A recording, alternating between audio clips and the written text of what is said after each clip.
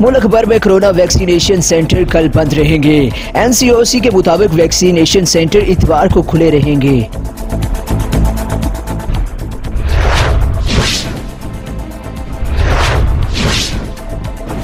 और इस्लामाबाद इंतजामिया के प्राइवेट स्कूल मालखान से मुजाकर कामयाब। गिरफ़्तार इस को रहा करने की यकीन दहानी पर मुजाहरीन ने धरना खत्म कर दिया।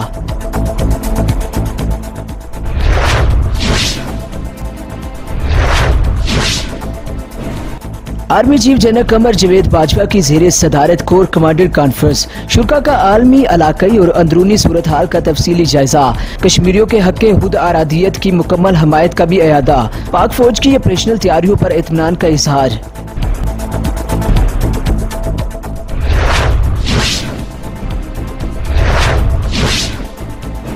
उर्सा के मुताबिक खरीफ सीज़न के आगाज़ पर पानी की 10 फ़ीसद कमी होगी।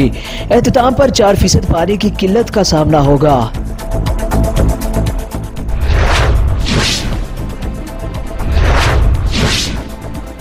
वज़ीर अजम इमरान खान ने कहा कि डेढ़ साल में पैंतीस हज़ार अरब रुपए कर्ज वापस किया।